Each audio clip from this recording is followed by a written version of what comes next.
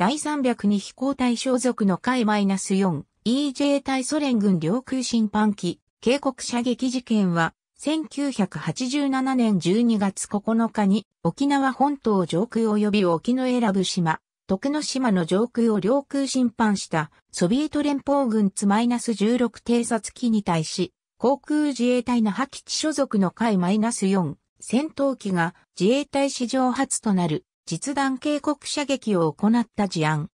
1987年12月9日午前11時頃、ソ連軍の偵察機4機が日本の防空識別圏を越えたため、那覇基地から海 -4EJ 戦闘機2機が緊急発進した。ソ連機のうち3機は進路を変更した。午前11時20分頃ツ -16 P バジャー J1 機が北へ転進し、沖縄本島上空へ接近。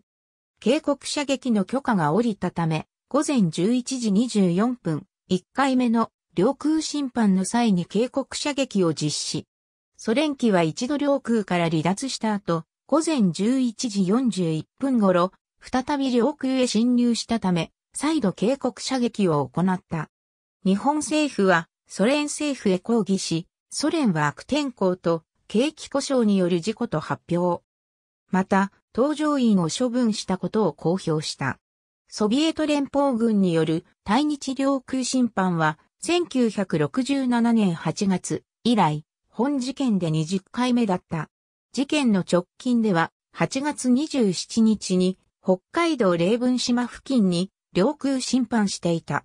ソ連軍機は当時ベトナムのカムラン湾からウラジオストクへ向かう途中であった。事件の経過は以下の通り。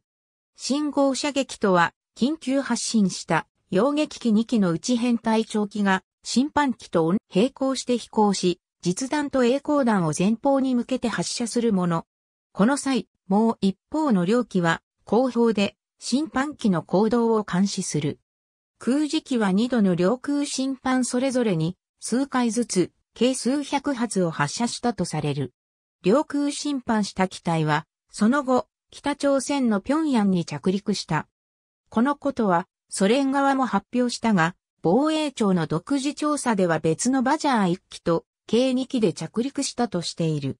ソ連側の発表では、領空侵犯は悪天候と景気故障による事故であったと説明。ただし、事件当時の那覇付近の天気は晴れとなっており、西広正規防衛局長は12月10日の内閣委員会で十分視界も聞いて島も見える状況なので、かなり悪質であると考えている旨を発言。また、海 -4EJ 一番機構石の B は、ソ連機搭乗員の焦りや動揺は伝わってこなかったと語っている。加えて、ソ連機は空時機を目視したが、旋回方向を誤った操縦ミスであったとも説明している。1988年1月14日、エドワード・ティシエ在日米軍司令官は、退任にあたっての記者会見で、米軍機が上空待機して事態を監視し、一部始終を把握していたことを明かした。その上で、空自が撃墜しなかったことを高く評価している。12月9日夕方、外務省は抗議の意思を表明。竹下登首相も前日に中距離核戦力全廃条約が締結された最中の事件であることに遺憾の意を示した。12月10日午後、外務省の長谷川和俊大和局長が、ソロビヨフ駐日ソ連大使を外務省に呼び出し、事実関係の調査と責任者の処罰を求める厳しい内容の口上書を手渡した。